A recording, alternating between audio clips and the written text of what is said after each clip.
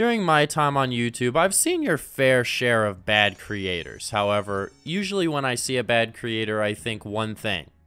Wow, this guy sucks. And then I usually move on with my day. There's not really anything else to talk about. It's just someone isn't really good at making content. However, somehow they're getting hundreds of thousands, sometimes even millions of views. And it's just one of those oddities on YouTube that you'll never really fully understand. Now, usually you don't talk about bad creators because that's kind of what they want. It helps bring more attention to their channel and in turn gets them more views. However, today, I am breaking this unwritten rule simply for the fact that this creator that I have found is so unbelievably awful and is doing so many things wrong, I just have to talk about it. So, in this video, I'm gonna be cooking Kabi. Mic check.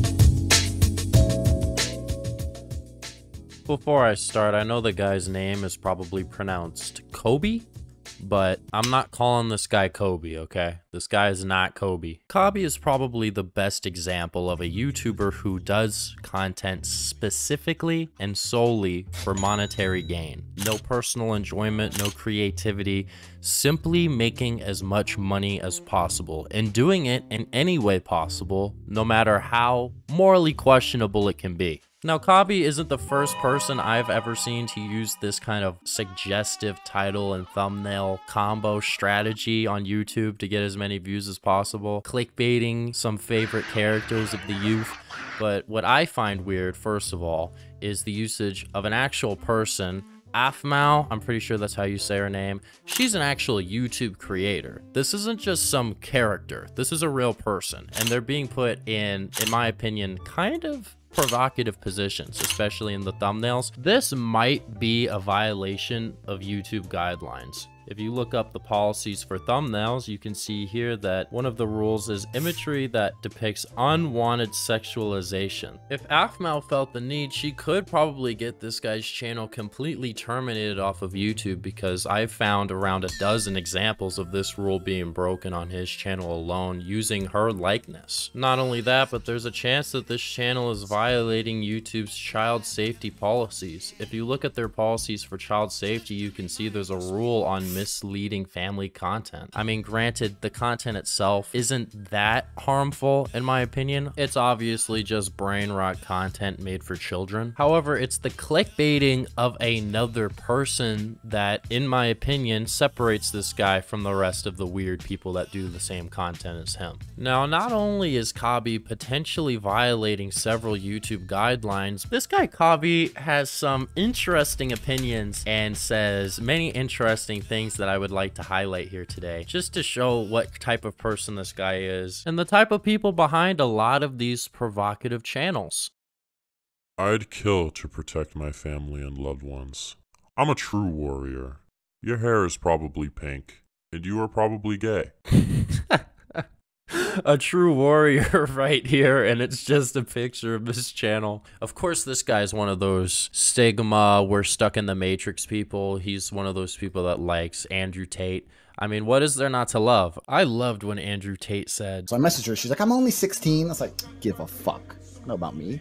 21, I don't care. This is my society, and they're coming along telling me they're going to blow this up and take this away from me. No, I want a virgin wife at 16 who's going to obey me. That's what I want. So Vivian's been with me six years. Six years. Six years. So he's been with Vivian for six years, right? Because Vivian's younger. Melissa's like 28. Vivian's like 21. Vivian's 21.